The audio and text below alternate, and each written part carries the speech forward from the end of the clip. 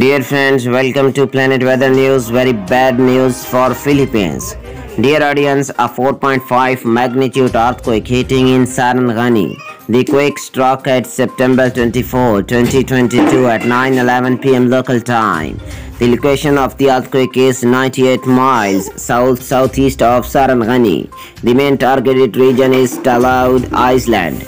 Dear audience, latitude of the earthquake is 4.5 degrees and longitude of the earthquake is 125.90 degrees. The quake had a depth of 92 miles.